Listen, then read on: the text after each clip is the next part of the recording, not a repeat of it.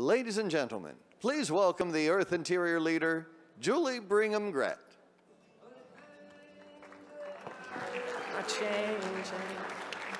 Okay.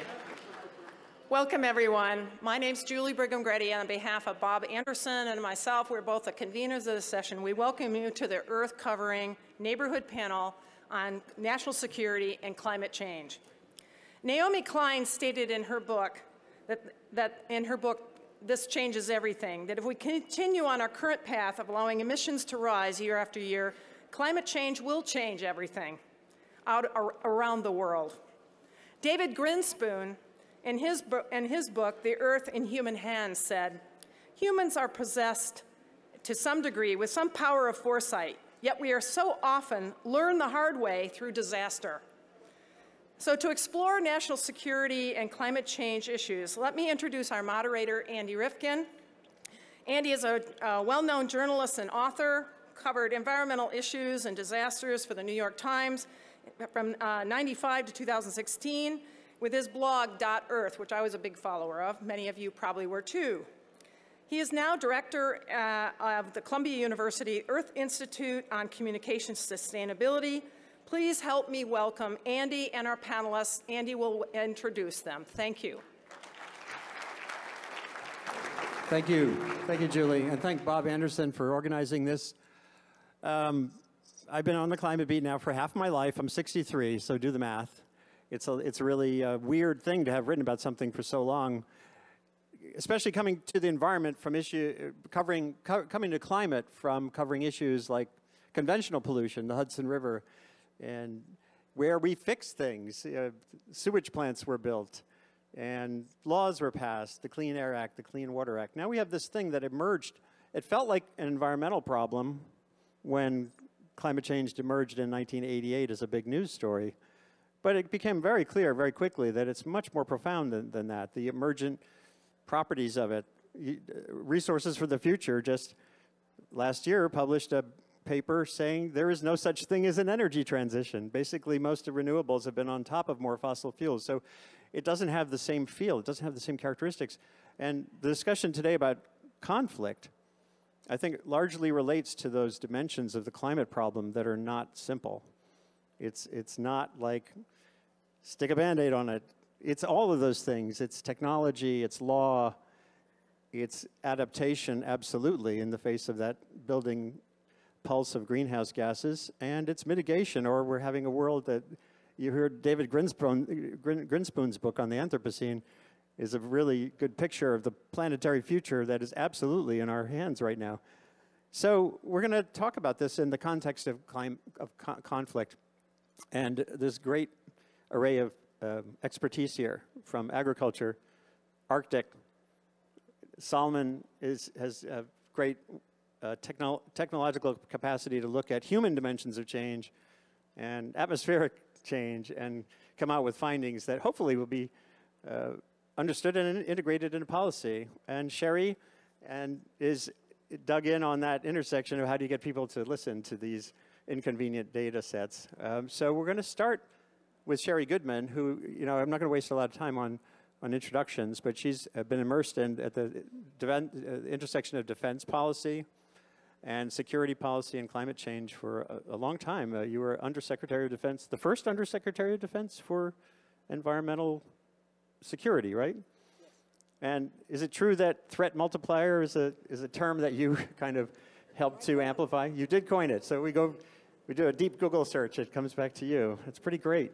So if you could begin with your, uh, what got you to this point of, through all that history, to, and what makes you think of, of a path to the future that isn't calamitous? And I think you have a microphone right here. my own microphone. Can you all hear me? Okay, all right. Great to be here with you all. And thank you very much to Julie and Bob for organizing this and Andy for leading this and my fellow panelists, and mostly for all of you for being here uh, today. So uh, I started out as a security professional over 30 years ago, uh, and I was working on the Senate Armed Services Committee when all of our nuclear weapons facilities around the country that make the weapon, the, the materials for nuclear weapons all failed for environment, safety, and health problems in the 1980s. and we learned how to do environment on the Armed Services Committee. Um, I was a young lawyer at the time, and so I started learning about how the environmental laws applied across the board to federal facilities. And we applied them to DOD, cleaned up some of that. There's still a lot more to go.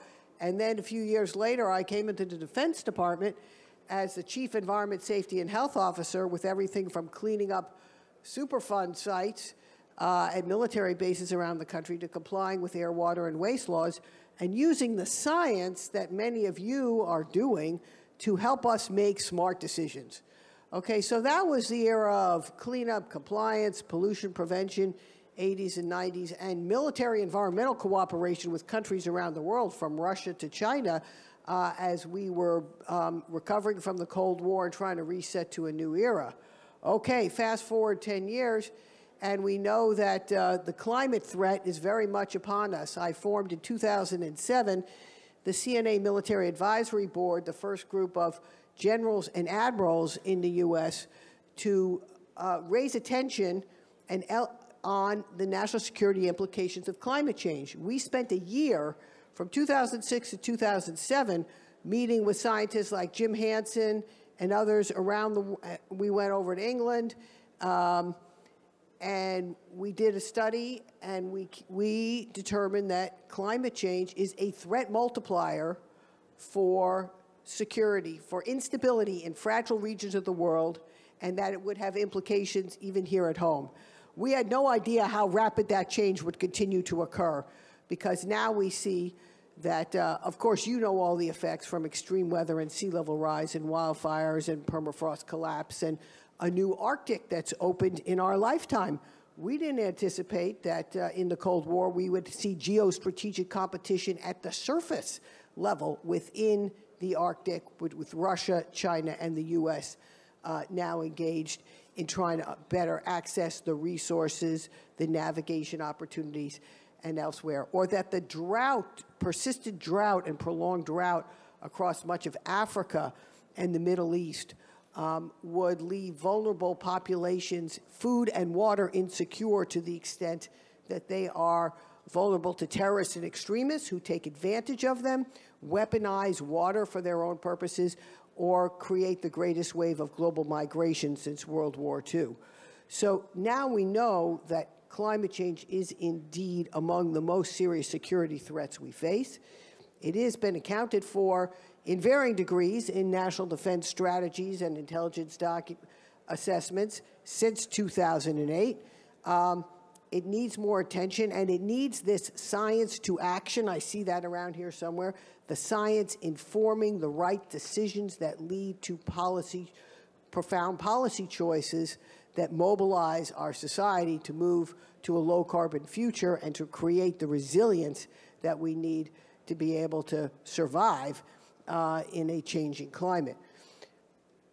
Just quickly, do you see any uh, sense that something that others here have thought about too, um, that when we think as a country about national security, are we adequately engaging how we invest money to foster security, to invest into things like capacity building and vulnerability reduction in sub-Saharan Africa as part of a, what traditionally would be called a defense strategy, you know, reducing, boosting national security by having a powerful army is one thing, but is there a logic to investing directly and, and counting for it in reducing conflict drivers as part of what we think of when we think of national security?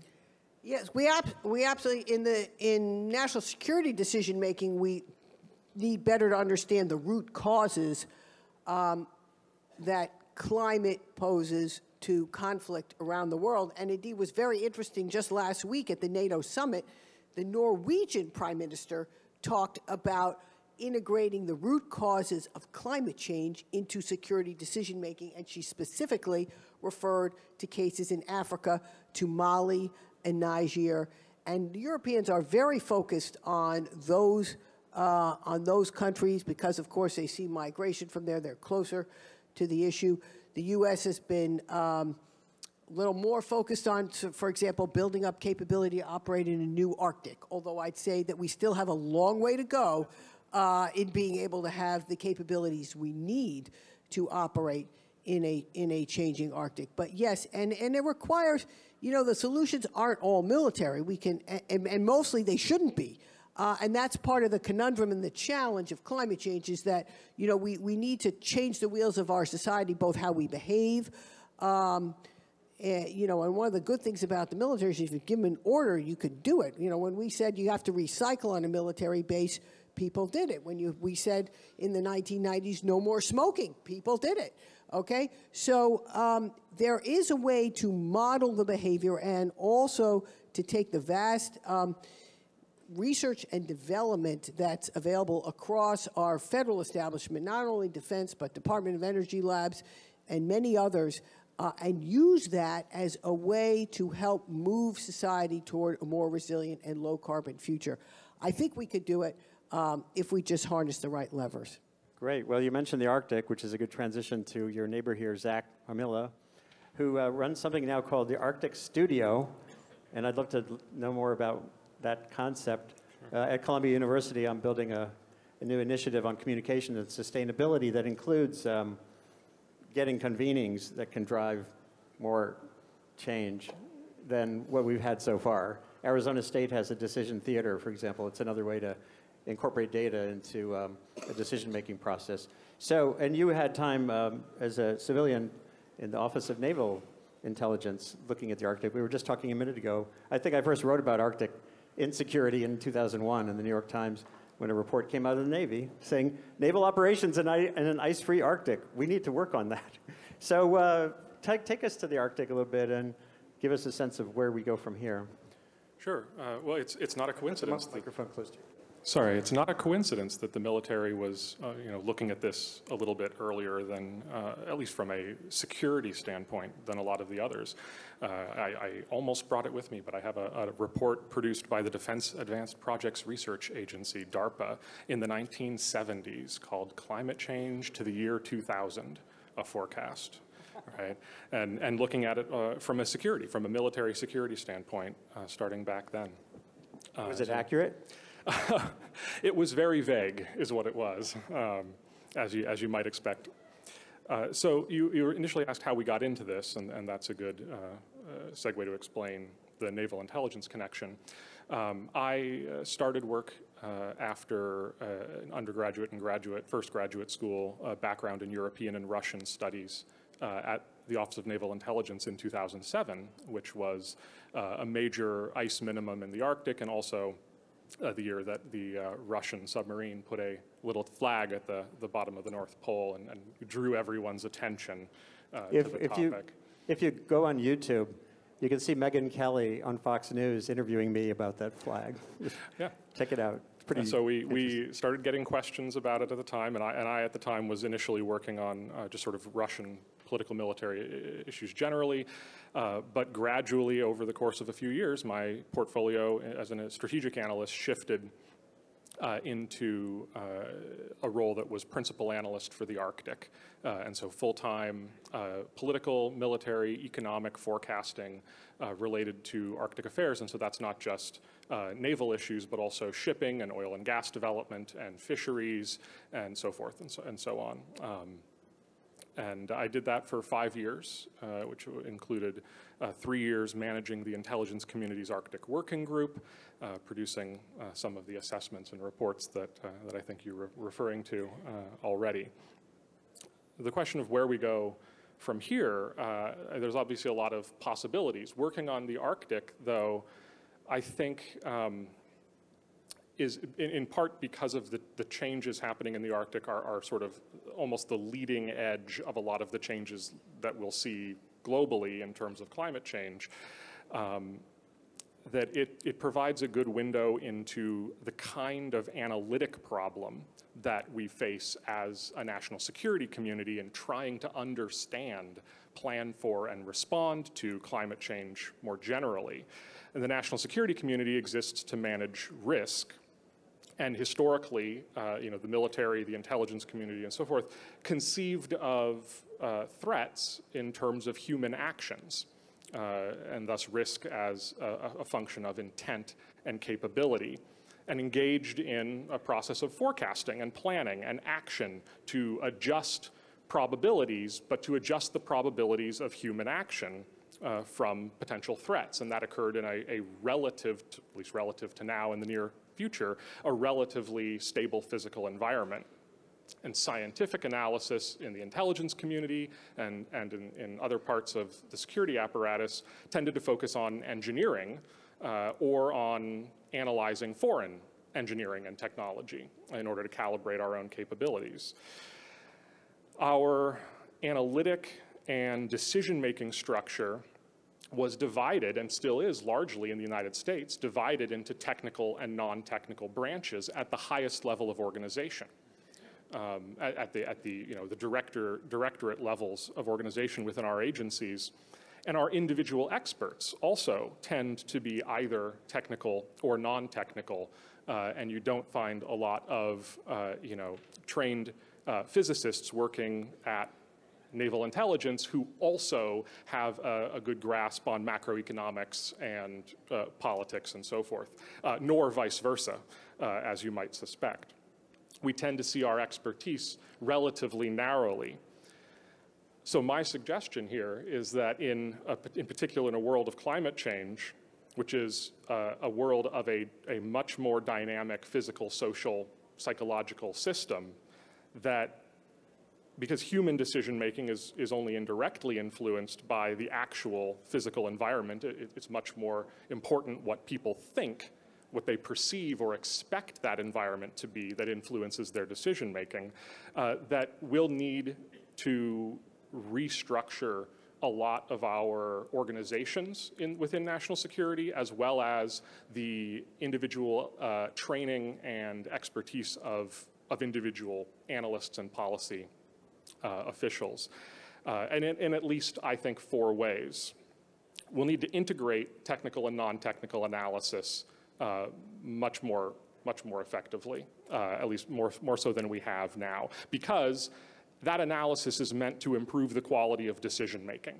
And decision making in a world of climate change is itself technical and non-technical integrated, uh, whether, whether people realize it or not uh, it, it's an integrated, uh, because the effects of that decision making are integrated and feed back on themselves. Human action feeds back on the physical environment, which then informs what people think is possible.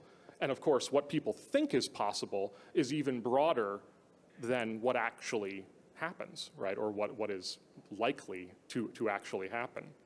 So we need to integrate that within organizations. I also think we need to foster cross-disciplinary expertise in individuals, um, in part because as you work your way up in a hierarchy, in a bureaucratic hierarchy of government and decision making, uh, there are fewer and fewer people passing on knowledge, expertise, and assessment to the next higher level.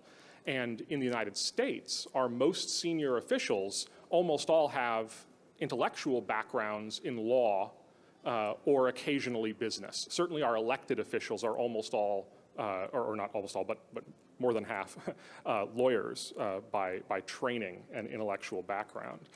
Uh, I, I want to caution, however, that I don't think that that I think we need to avoid that turning that cross-disciplinary expertise into non-disciplinary expertise. There's, there's a tendency uh, to uh, give up on methodological rigor on in one or more of the areas that we integrate when we integrate, for example, academic programs um, and, and trying to maintain that level of rigor would be that, beneficial.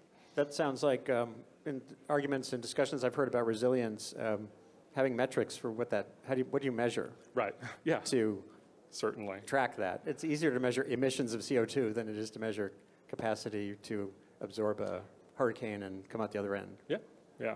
Um, so the third uh, would be long-term thinking. It's obviously very easy to, to say. We all, of course, we need more long-term thinking. That's people say that a lot, um, and then they end up caught up in the daily crises. Uh, but uh, I, I, think that it, in a world of climate change, that long-term thinking becomes sort of even more essential, uh, and uh, especially in terms of integrating with, with technical and scientific uh, analysis. Um, and fourth, uh, I, I, think that there's a great benefit to be had from uh, more carefully distinguishing uh, value judgment from uh, forecast or factual est- estimates and, and factual assessment. Uh, in part because climate change uh, remains a politically contentious issue. One of the nice things about working in the intelligence world was never having to make a, a policy recommendation. Uh, you know, and, and, and, and in fact, uh, being able to savor not having to incorporate value judgments into my assessments. Um, and, and thus, as the military is, is relatively good at, uh, just focusing on what's likely rather than, and, and letting others decide uh, what's best. Um, but the credibility of that analysis uh, and the credibility of those forecasts and estimates uh, was, would, would be undermined, I think, by too intimately weaving in value judgments. Uh, and I think that uh, a lot of people sort of shut off uh, when they hear a value judgment they don't like. But by making analysis more modular, uh, it would be possible to create more uh, influence uh, for factual assessment, which I, I, think would be a fine place to start. That, that's a rich description of the, the uh, situation we find ourselves in. At Columbia, there's this um, difficult conversations laboratory. Uh, Peter Coleman has this lab there, and it's designed to sort of disintegrate conflict and find where's the values chunk, where's the data chunk, what are your interests, and what do you do next? And actually, journalism are, is trying to learn from that in terms of how we untangle things. So, Solomon, are, are you on the technical side of what he laid out in the sense you're, you're, you have these tools for modeling at Berkeley that are powerful, presenting sort of scenarios and doing a little attribution. So, when you think of what you've just heard so far, and just describe a little bit of how you came to this juncture of the human system and the Earth system and where we go from here to have 100 years forward that are maybe a little less turbulent than the 100 years so far. Okay, uh, that's uh, so. Just sort of listening to this, I'm sort of wondering. I'm hoping that I'm on the uh, multidisciplinary side and not on the sort of undisciplined side. Uh, you know, we got started. Actually, I, my advisor Mark Cane, who's somewhere here uh, today, I just saw him, uh, had advised me when I was at Columbia at the interdisciplinary PhD program at the Earth Institute and, and SIPA at the School of International and Public Affairs. He said, read this book by Mike Davis about, uh, you know, these Victorian, late Victorian famines that were occurring due to El Nino. And as I was reading this sort of anthropological book, I thought, oh, there's conflicts and famines and mass migrations, and this should be showing up in the data if it's real. And at the time, I was being trained in econometrics and causal inference. How do we learn to disentangle cause and effect uh, in economic systems when you have an economic policy? And so you can think of a change in the climate as something that's like a change in economic policy. It's just unintentional. It's just imposed on society externally, perhaps, at a moment in time. So we started looking at, you know, when El, El Nino occurs, those countries in the tropical belt that are teleconnected, what happens in those regions. And it turns out that during El Ninos, uh, the rate at which civil conflicts are generated. It's kind of like you can think of it as a, some sort of Poisson process. Uh, appears to double, right? So the rate of new conflicts goes from like 3% to 6% as you shift from La Nina years to El Nino years. And that gave rise to us thinking about this problem. Mark Cane and others actually, I remember meeting up uh, with my longtime co author and friend Marshall Burke I think at the 2011 AGU conference for the first time, and we were both thinking about this problem a lot, and we started digging into the literature. We found there were actually lots of people who had somehow found connections between sort of the climate and security or violence um, at the sort of individual level, people studying the effects of weather and temperature on crime rates, as well as people in psychology studying the effects of temperature on individual level decision making or putting police rookies sort of in a training situation and then changing the temperature to see how their decision making changes. Uh, and then even in the archaeological and paleoclimate literature, there's people that were hooking up, pointing out that mega droughts were occurring at the same time that like sort of Mayan civilizations were collapsing, for example, as just an example. And so we put all that together and started realizing that actually there's some overarching themes here. And so since then, there's been a lot more work on it, and things have been replicated a gazillion times, and I think there's a very strong empirical foundation now to understand that as climate shifts towards more extreme temperatures, particularly hot temperatures, and extreme rainfall patterns seem to be associated with increased violence at sort of all scales of social organization. Now, that's just sort of an empirical fact. And since we sort of pulled that out of the data, there's been a lot of work to try and understand why that's true. So the analogy I often give is to say, well, that's like, you know, in the beginning we could tell that smoking caused lung cancer just looking at raw data, but we couldn't tell you why. Since then, people have really been digging in, trying to understand what's going on under the hood. Why is it that when the environment gets hotter, we see more violence? It seems sort of almost nonsensical in some ways, but maybe too intuitive in other ways. And so, you know, since then, there's sort of really four hypotheses that are floating around, and they're not all equally well supported. So, you know, the, the sort of predominant theory that people talk about is how the climate affects economies, it affects agriculture, it causes people to change decisions about what sector to work in. It makes working in sort of what we call like a violent sector more appealing. Like if my farm is not doing so well and someone comes through and they're recruiting people to go join the local insurrection, that seems relatively more appealing uh, if the farm's not doing great in that particular year. There's a fair amount of evidence for that, but it's not always explaining what's going on.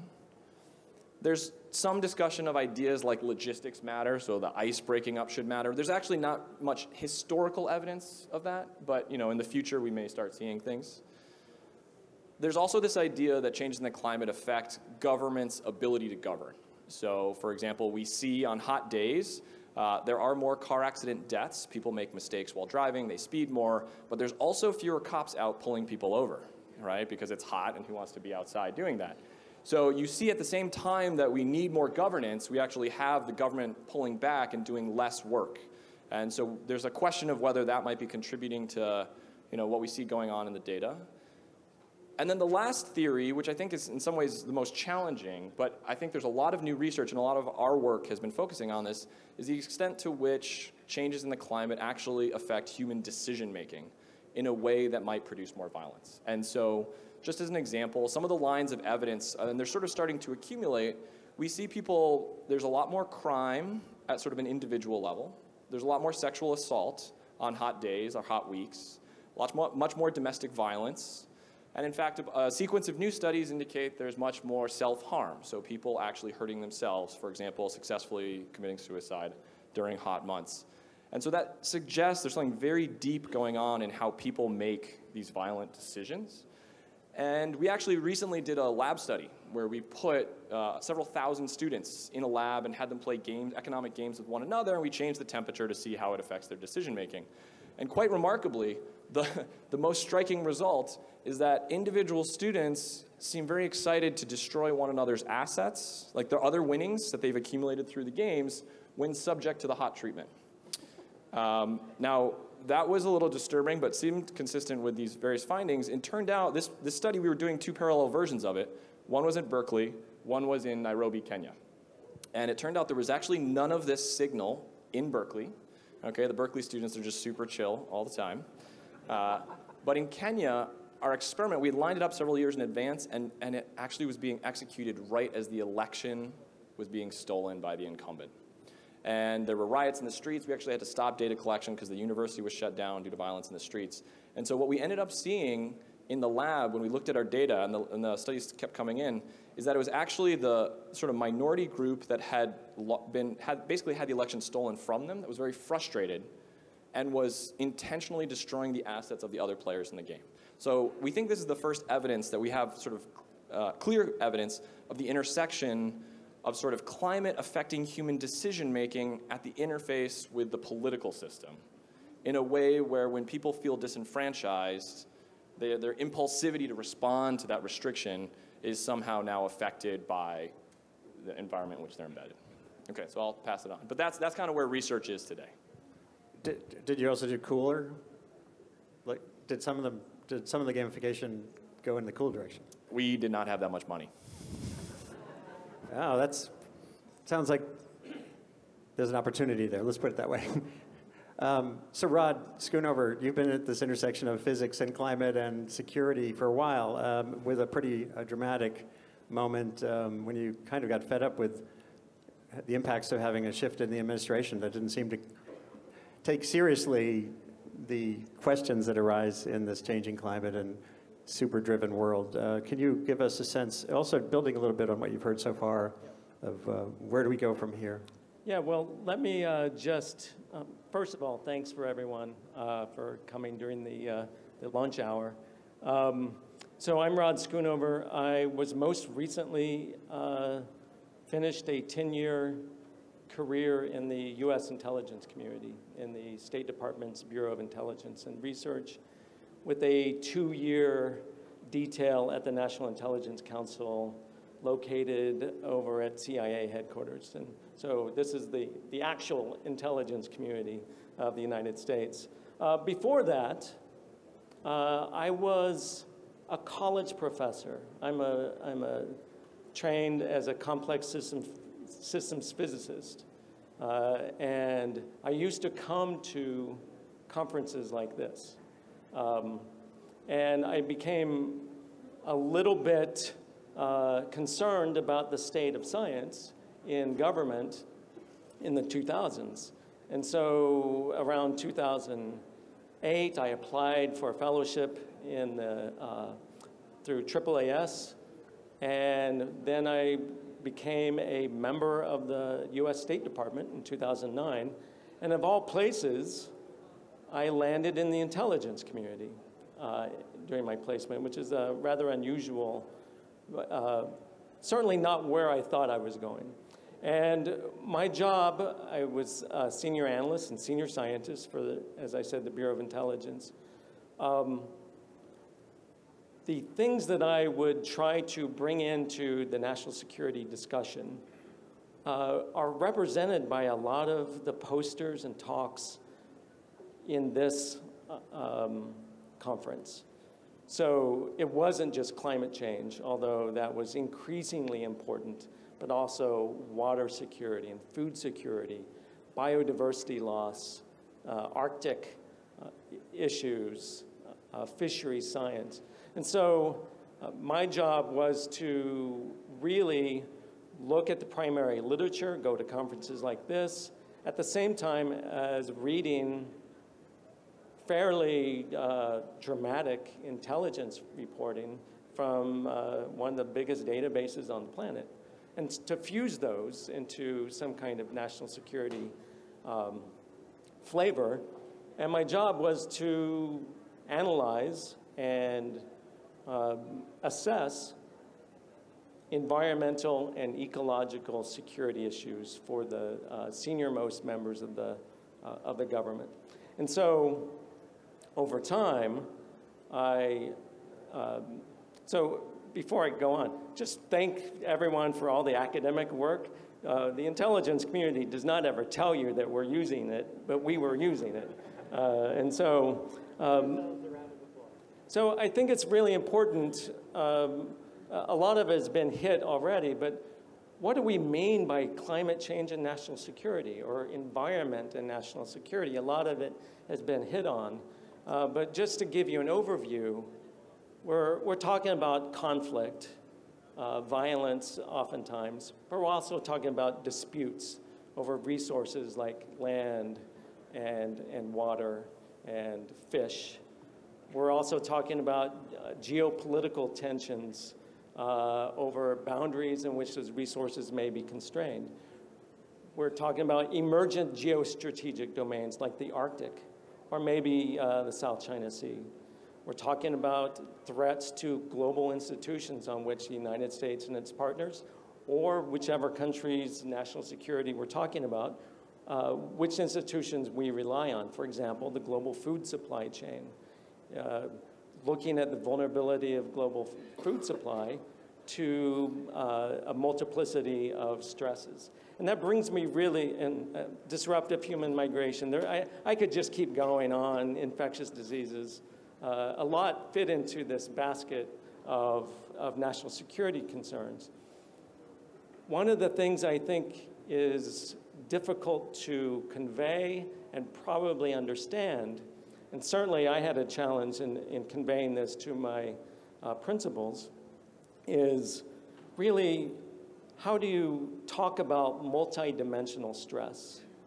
Because again, as I walk through the posters and, the, and listen to uh, discussions, you know, you can look at this particular uh, soil stress, you can look at this particular stress on fisheries, and they don't come unidimensionally to, to societies. They come in multiples. And how do we how do we describe it? How do we measure it? I think most people know that it's important, uh, but it's really hard to get at scientifically. And, and so there's a lot of attention on extreme events, which is really important to understand, both in the meteorological sense and in the ecological sense, but also the aggregate sum of stresses that may not be considered extreme. Uh, and so that's something that I've been trying to tackle and understand. Part of the uh, job of the intelligence community is to provide strategic warning. Uh, you know, I think a lot more effort needs to go into that kind of work. Thank you. Thank you, and we'll get back to you in a minute. Uh, Jon Foley, um, so you're kind of really dug in on solutions, 100 of them at least. Uh, you had been at University of Minnesota working on agriculture and climate for a long time, building a really communicative presence as well, and now you're at product project drawdown. Uh, we've been talking off and on about the sort of the opportunity for a parallel thing, like 100 ways to build up resilience while we draw down CO2. But can you um, give a sense, sort of a reaction here too, and, and a sense of thinking about this in a drawdown solution space? Uh, what can be done the next 10, 15 years that can turn the tide on some of these things? Yeah, um, well, first of all, thanks for uh, having me on this panel. It's a fascinating group. And to come back to AGU, um, I, I, spent about 20 years in my life as a climate scientist and came to AGU very, very frequently, and then kind of stepped away from that for a little while, now coming back from a different angle, more in solutions. Um, but what's really interesting is if you think about the work done by the AGU community uh, to understand the changing like physical climate system, our biogeochemical cycles, our global ecosystems, all the wonderful things that are presented in this area, what we kept on finding again and again and again, uh, especially listening to these other panelists, is the changes in the physical and biological and chemical state of our planet moving away from what it had been for thousands of years to what it's moving to. Gee, uh, when we change the planet, guess what? We find again and again and again that there are these so-called you know, threat multipliers, things that translated to increased harm to society in one form or another, uh, whether it's changing food security or water security, infectious disease, the risk of conflict and violence, all these things seem, you know, bottom line, when the planet gets worse, things get worse for us. You know, okay, that's not too surprising, but it's very, very uh, sad, and it's uh, obviously a very strong motivator to address the underlying issue. Well, so now I work on the other side of the street now, which is like, what do we need to do to actually solve or address climate change? And so I work for this weird organization called Project Drawdown, which is not a university, it's a little uh, nonprofit. Uh, before I joined it, I can't take any credit for this, um, wrote a book called just Drawdown, the idea of, you know, how can we actually solve it? Do we have enough solutions to address climate change? What would it take? How big are the solutions? What would it cost? And this book analyzed about 100 of them, quantifying the size of different climate solutions and their potential cost. So that's great. Interestingly, it was never published in an academic journal. Were, instead, we wrote a coffee table book, and that's why it sold really well. Um, so anyway, um, now we're doing this second generation of drawdown where we're going back and doing all the same research again uh, in much more depth. And in fact, in February, we'll be releasing a whole new electronic book called Drawdown Review, which we'll do every year, which will outline about 150 different solutions to climate change. Now, the, just like we saw when we look at the climate problem, when the Earth, you know, when the planet gets warmer, we degrade other systems, things get worse for people. I want to see if the reverse is true.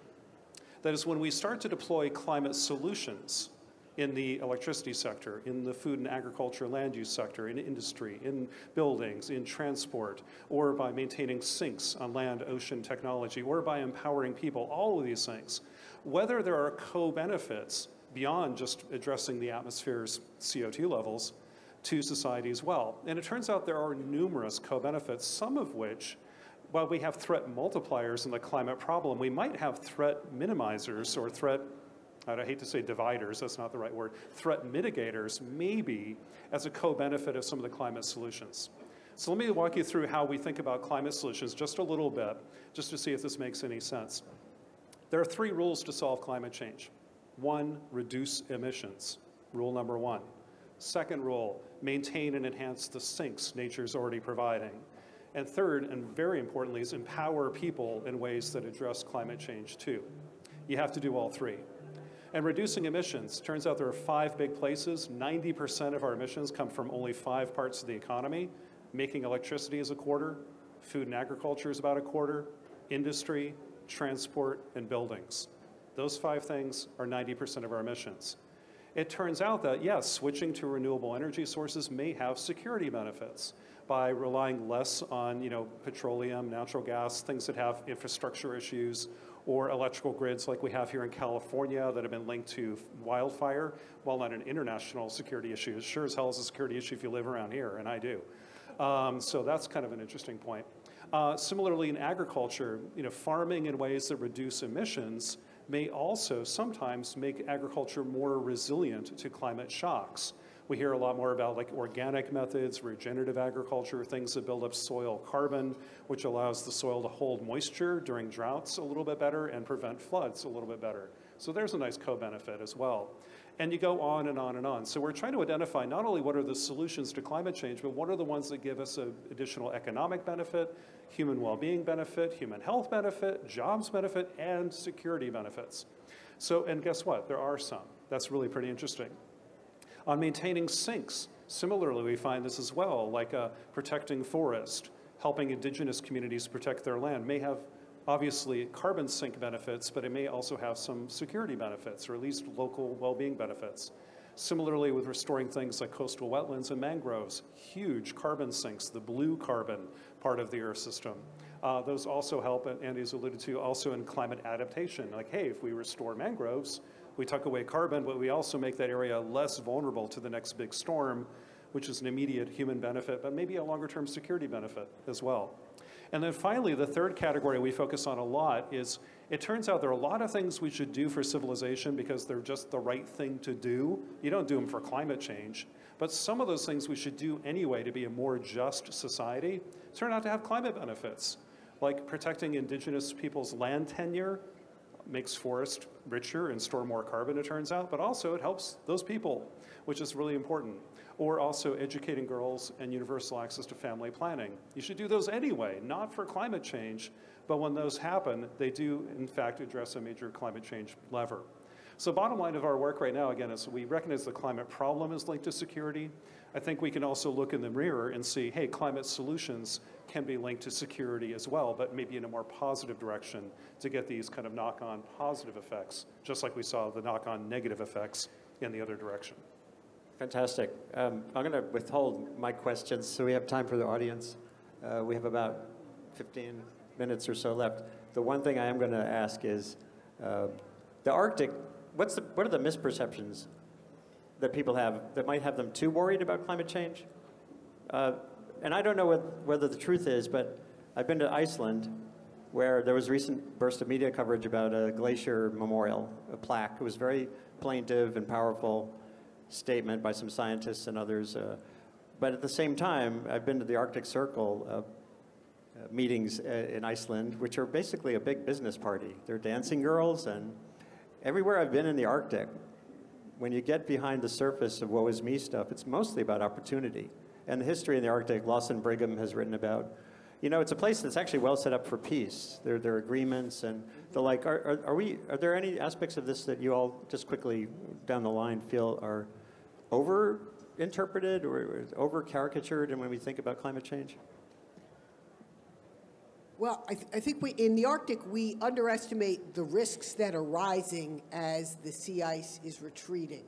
Um, there's often a sense that we can take advantage of these business or other opportunities to extract the energy or develop the tourism um, or increase the shipping. And while all that is true, the risks uh, in a changing Arctic actually increase. The likelihood of the need for a search and rescue mission, an oil spill. Think Exxon Valdez was all in U.S. waters and was not in the Arctic at all. Okay, think about an oil spill in Arctic waters. We don't have good technology for cleaning it up, and it probably wouldn't be, it would probably be a transboundary, a multi-nation effort um, with a lot of uncertainties. Or take one that we did at a National Academy of Sciences Arctic Futures 2050 just a few months ago um, with the Wilson Center, Center for Climate Security, and Sandia Labs looking at a potential nuclear shipping incident in the Bering Strait in 2050, where a Russian nuclear powered icebreaker collides with its Chinese escorted liquid natural gas vessel uh, in the Bering Strait, where the U.S. and Russia are only 30 miles apart. What would we, and, and we know the history, what keeps me up at night is that Russia's nuclear history is very checkered. They don't report well, they've had numerous accidents, and they tend to cover up when something bad happens. And they just launched a floating power plant to supply their offshore oil industry with electricity. Yes. Any other quick thoughts, and- or we'll go to the audience? Yeah, I, uh, I I think that climate change increases the discontinuities between what people think is possible and what's actually possible. And sometimes that distortion is on the side of reality, and sometimes it's on the, the, the distortion is on the side of people's perceptions and expectations, and, and what people uh, try to speak into existence, as perhaps the Arctic Circle uh, may be an, an example. Um, Well, or- short-termism, short-termism and yeah, status quo uh, bias. Or, or, or what people think that that discourse can achieve for their local communities, and, and that, that hope is not necessarily unreasonable. Um, although, and then that can also go in the opposite direction uh, in terms of speaking threats into existence that perhaps wouldn't otherwise have, have uh, uh, occurred because people uh, worry about possibilities that otherwise wouldn't naturally uh, take place. Um, and and the, the, the, with respect to, to where are some of those discontinuities, one of them is uh, in terms of the, the global economic influence of change in the Arctic. And I'd, I'd certainly uh, uh, agree that um, there, there are increased risks with accessibility, that it becomes a riskier place in a lot of ways to operate um, commercially.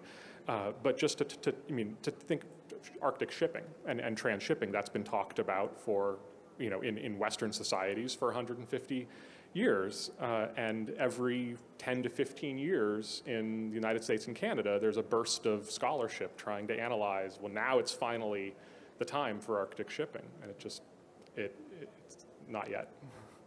Okay, so I'm going to rely on the microphone people because I can't really see you all. Um, raise your hand and could you take two questions and like little packets of two? And identify yourself. Hi, I'm Ron Amundson from uh, UC Berkeley. My question is maybe to Rod or Sherri.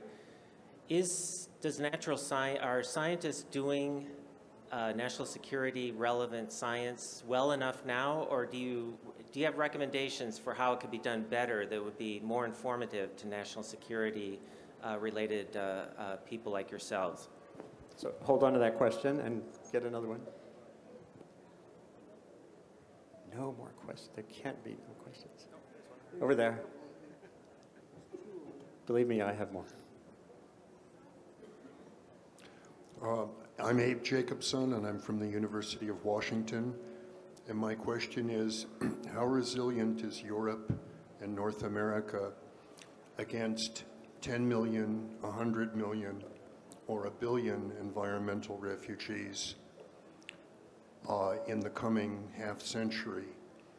And can you relate that to how well they've done with 1 million Syrian refugees in the last several years? So those are two uh, questions for the panel. One on is, is academia and science generally doing a good enough job providing the information you need? And uh, migratory pressures, um, how much of that's Yeah. established and, and can we deal with that? Well, I will wisely jump on the first question. Uh, so, um, so, I, I, so is academic science uh, framed in a way that national security professionals can take it? Largely, yes. Um, you know, a lot of the work that, as I said before, is done in fora like this. Um, does have relevance, but only if there are people in the government who can translate it, right? The translation function is weak. Uh, when I left government, uh, I was told it was a, a, a giant blow into uh, the expertise in some parts of the government. Um, the, so the, the translation function, both within government and outside of government, is probably not where it, should be. Now, I would also say uh, from a prior panel, work on transdisciplinary uh, problems, you know, the socio, socio-ecological framework of, you know, how do you bring in humans and the uh, ecological disruption that, that's ongoing, uh, not just necessarily in a security context, because uh, that's something that national security community does pretty well, but a, a, a focus on social stress, I think, is something that could be uh, um, pursued a little bit more. Uh, we have 10 more minutes, Okay. so keep uh, responses Great. brief and then we can. All right. Um, Ron, great, great question. I mean, I've spent my life as a translator, you know, translating science and engineering into policy and national security decision making. Um, and there are many more people who can and should, you know, who should be doing this. I've argued that we should have um, climate and other scientists uh, co-located at our combatant commands. Uh, and in fact, at, at Pacific Command, we actually now have the first NOAA liaison officer who is uh, a scientist, but we should have them at all our commands. Air Force Weather is hiring its first climate scientist, Air Force Meteorology. So, and that, those are important first steps. But also, scientists also would do well to uh, understand how science moves through the continuum of bench and lab scale science into um, test and evaluation, demonstration, and into actual deployment. Because we often hit a valley of death where there's good science that can't get quite translated uh, into technology. And migration, my quick answer on that important, very important question is, um, my parents are Holocaust refugees, and so I'm here benefit of, of the opportunities that, you know, our nation gave to some, not enough people to, um, you know, change their nationality and have a whole new life. We can do that. We have many places, many communities in the U.S. and other places where we've welcomed uh, those who need to migrate. And as we're going to live in a planet where more people are going to need to migrate, move to higher ground, move to new places, that is, a, it's a policy decision. It's not that it can't happen, but it has to be done um, smart. You know, it has to be done smartly and with humanity, which unfortunately we haven't seen enough of in recent years. Let's, let's get another question or two if we have them. I see one, at least. uh, Frank Schwing, it seems like the remaining skeptics to climate are in political office. I- Is it easier to convince them that there's a military threat that, that, to help them convince that the climate change is real? Does this help make the case or not? I, I wrote about this when I was at ProPublica in the early days of the administration, and I think Rod was someone I oh. talked to at that point, but I can't confirm that. Um, so, so the question is really, if you put a national security flavor on a biophysical, uh, ecological trend, does it make it more palatable to government, uh, to government officials and elected officials? Uh, I think the answer is unfortunately yes. Um, should it be that way? No. Uh, but this is the way that we have, um, our society has, uh, has moved. I actually think that this is one of the reasons why our national security, uh, just like infrastructure and social systems that we built in the 20th century, are no longer uh, all that viable in the 21st century. I would say the same thing about our national security formalism. Uh, it, it, it seems outdated. It, it, we shouldn't have to connect climate change effects to what used to be 20th century ideas of, of, uh, of national security. We should be able to say, this is a threat to the ecosystem that supports humanity, and be done with it. Uh, I was in government when uh, the Intergovernmental Panel on Biodiversity and Ecosystem Services report came out in uh, you know, a couple months ago. Uh, and it's probably one of the most shocking reports I've ever read uh, from the scientific community.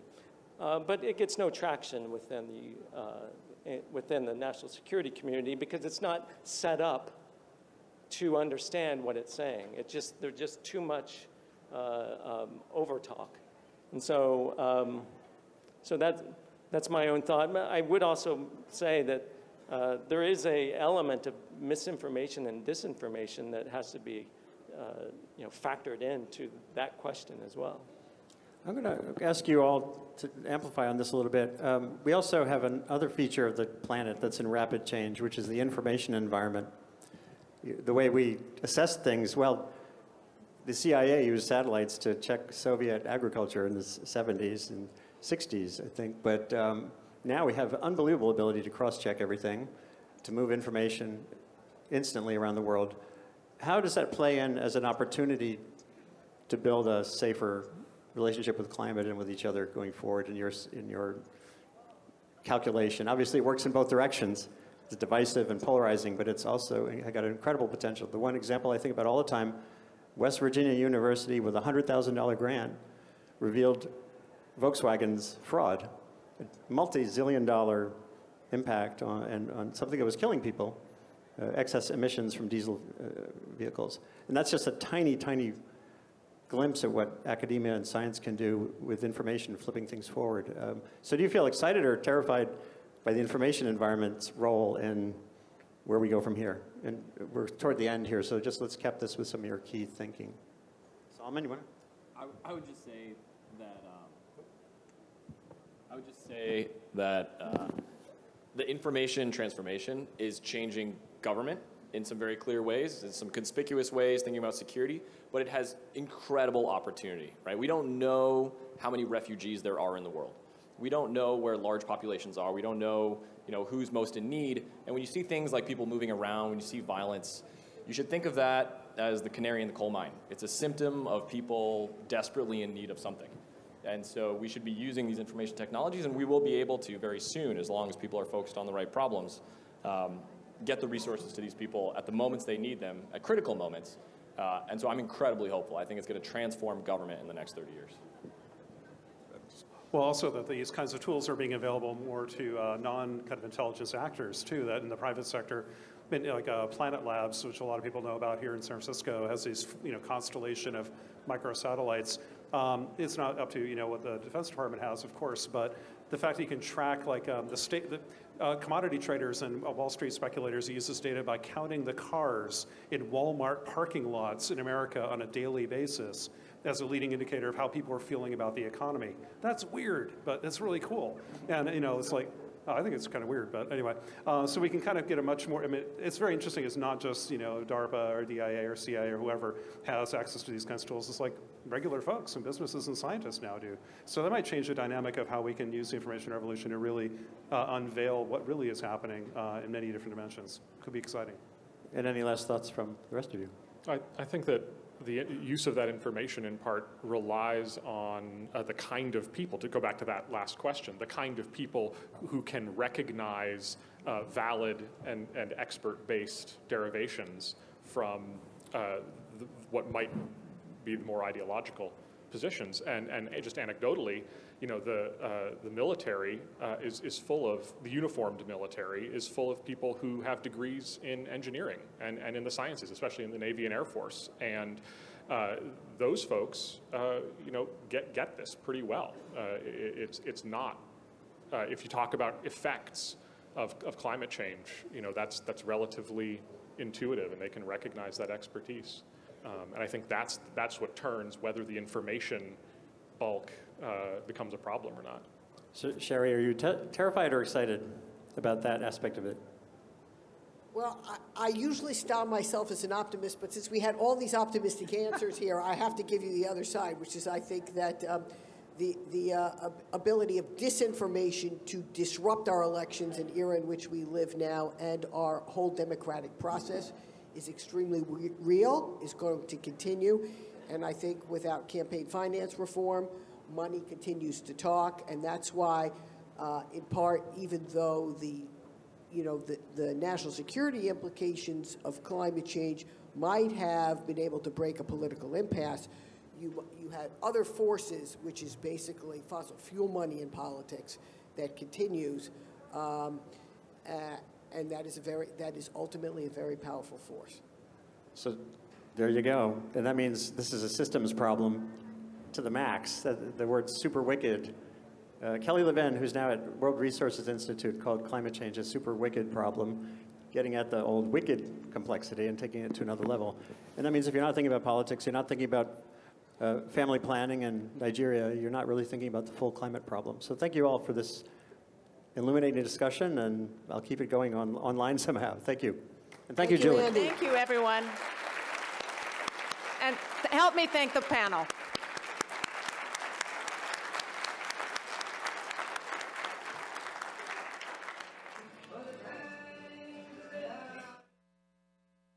And gentlemen, thank you very much to our panel. Their conversation continues in the networking area of Centennial Central. That's right over that blue wall to your left-hand side. Our next session will begin right here at the Inspire stage at 1:40. Thank you.